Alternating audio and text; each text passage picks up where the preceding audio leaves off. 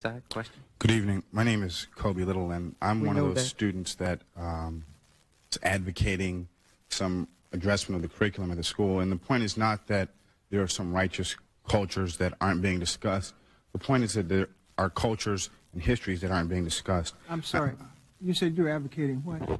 Some examination of the curriculum at this school um, in terms of the inclusion of um, other areas of study. And never was the point that there was a righteous group and that Western culture was not righteous, but that there was some need for discussion of it. I think that one of the problems with this discussion here is that there has really only been half the panel dealing with reality. Um, some reality is that legislation has been passed uh, ending segregation, but if you look at Baltimore, it's still very segregated. If you look at New York schools, they're very segregated. If you look at the housing thing in Texas, it's very segregated. Uh, you said there's change in white attitudes. There's some change, but how many white people here would have a black dentist? How many white people here would vote for a black person over a white person? These are all studies that have been done. You can look at Newsweek or anywhere else you want to look, and they're there. Nobody's dealing with the fundamental. to ask you to get to a question Okay. or let the panelists comment on your The comment. question is, the question is that I want people to deal with is that we've liked to quote Martin Luther King and say that we had the civil rights movement. And that's the problem. We did have the civil rights movement. But why aren't you all dealing with the fundamental questions that Martin Luther King posed? And those are two points. Number one, he said that for any real progress to be accomplished, white America must realize that there must be a restructuring of American society, one. And two, he said that America wrote African Americans or black people in this country a check, and that check retur- returned marked insufficient funds. Okay, that's criminal in itself that there, that, that Okay, let, let the Okay, well, the, the question point. then, the question is, is that you're not dealing with the any economic inequalities, and there's no discussion of reparations for black people, and until you deal with these issues, then there really can be no fundamental changes. Thank you.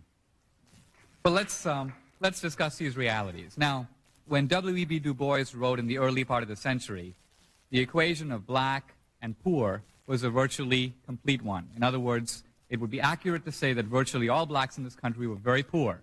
And affirmative action, I think, was implemented because people realized there are serious problems that are both racial and class-oriented, and these need to be dealt with. The fact is today, the black community, as Linda Chavez said, is segmented. You have a substantial black middle class, and you have some people who are in the upper middle class or the affluent. We now have to reappraise affirmative action in the light of that fact. Why is it fair to give the son or daughter of Jesse Jackson, who went to private schools in the Washington, D.C. area, a preference to get into Johns Hopkins over the son or daughter of an Appalachian coal miner, the son of a Hispanic doctor, a black engineer? These are middle class people. They go to the same schools with middle class white kids. Very often, there is no reason in a society of scarce resources to apply affirmative action in this way. Now, you, you referred earlier to the question of the ghetto. And whenever we look, whenever we see oppression, we have to ask, whom does it benefit? Whom does it benefit? Why do we have slavery in this country? Because it benefited people. There was work to do, and there were people who gained from it. Who does the ghetto benefit? Think about it. Does the ghetto benefit whites? How? Crime? Uh, dangers? Ex- spending? No. The ghetto, the existence, the persistence of the ghetto benefits an activist class of researchers, professors, social workers, a if if racism were to be abolished overnight, many of these people would be out of a job. That's about one minute, Dinesh. Hi, this question is for uh, Mr. D'Souza. I just have a pretty simple question. Is racism dead in America? Because if, if racism is dead, then what you're saying is right. We don't need affirmative action. We don't need all these other preferential, as you say, uh, different things like that. But if you can honestly say and say to this audience and say to the rest of the audience watching on C-SPAN that racism is dead, then I think you would probably be laughed out of uh, this auditorium here. Now, this is this is this is not to attack you or anything like that, but I'm just just I would just want to know if you think or believe that racism is dead. I'll Because- answer, I'll you. answer your question, but may I pose a quick one to you? Yes. Is anti-Semitism dead in America? No, it's not. And do, should Brown have preferential programs for Jews? Uh, I wouldn't be against it. You think, you think that Brown University should have preferential programs to let Jews, to increase the number of Jews in the student body? I said I wouldn't be against it. Brown is a university that must be more culturally diverse. Let me ask you this. Do people in this society have a prejudice against people who are hugely overweight? Yes, they do. And, they And do you think Brown University should have a preferential program to let such people Excuse me. in? Stay with it. Stay with it. stay with it. St- sorry, please stay with it. Yeah, yeah. I, I'm afraid I have answered it all too well. You no, have- racism No, is sorry, not that. sorry, Mr. D'Souza, please, please reply if you'd like. Wait, wait, wait, wait. You have not answered my question. I'm going to. Look, like you, you were talking about. Sorry, no. wait, excuse me, excuse me. Let's just sort of stop for a moment. If you'd like to ask a question now, your last question, please do so. This is it. You're at the Olympic Games, right? And you're saying how the it's all equal. Well, in America, and I hate to say it, but the white man has a 50-yard head start, and affirmative action makes that that playing field just a little bit little bit leveler. And if you're saying that racism is dead in America, then you're wrong. And i I'm just not- want you to answer that question. Thank you, thank you. If I might also respond, Dinesh, I'll return, I'll return to you. I think those of us who support affirmative action must take care to thoughtfully respond to the question posed by Mr. D'Souza about anti-Semitism. Yeah. His answer suggests that if you support affirmative action, you must therefore abandon all notions of merit and support all forms of preference. That is not true.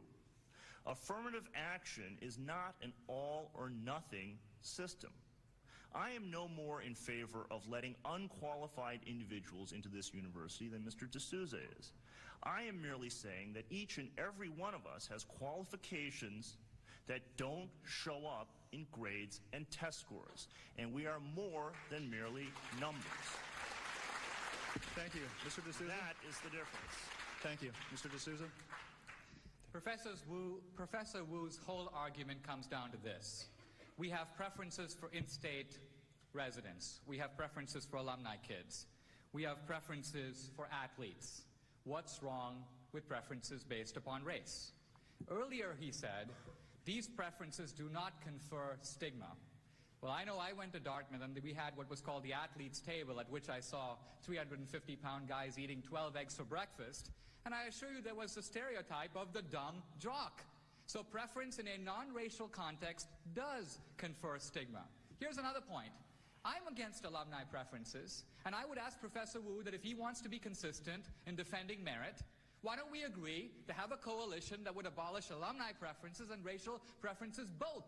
But here's my point. He is defending these forms of nepotism, alumni preferences, in-state residences. He's not against them.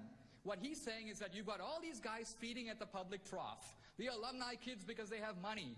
Brooke Shields because she's Brooke Shields. Ted Kennedy's son gets into Harvard even though you and I might consider him disadvantaged. Nevertheless, here's my point. Here's my point. He's saying, his argument is that because, his argument is that because we have other forms of nepotism, other forms of nepotism or favoritism, why don't we have racial nepotism too?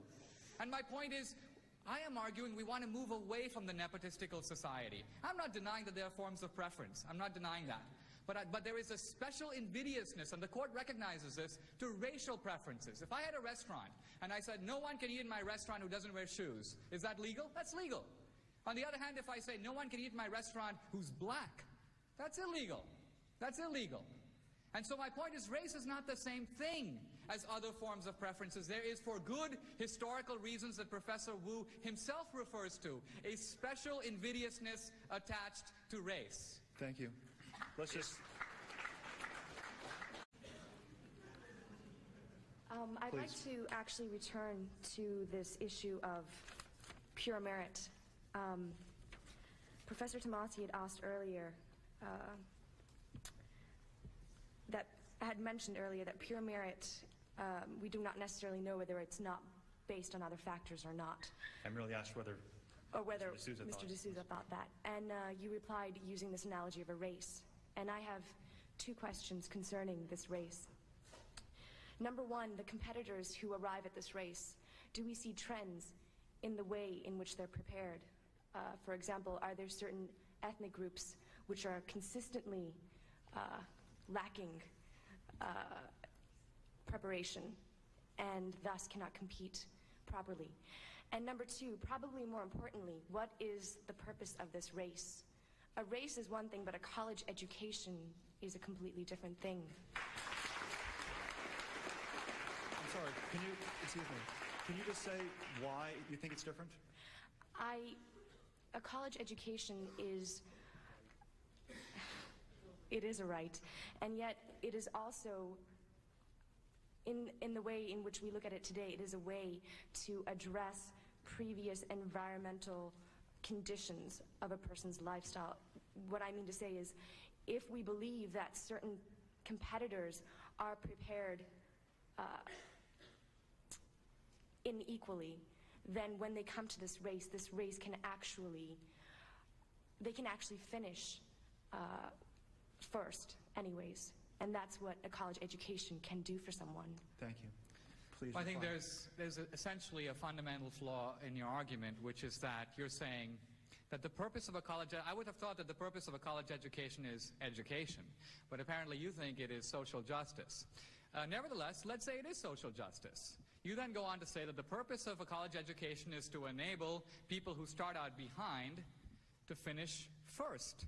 So after rejecting the analogy of a race, you ironically return to it. And you embrace the idea of merit. You are simply saying that you want merit to now be, you want to prepare students who are not well enough prepared to win the race. And I agree with you, they should be prepared to win it. But you don't do that by destroying the fairness of the race. You don't do it by asking students to start on different lines. Only the guy who comes in first will think that's a fair race. Everybody else will feel it has been rigged because it has. Thank you very much.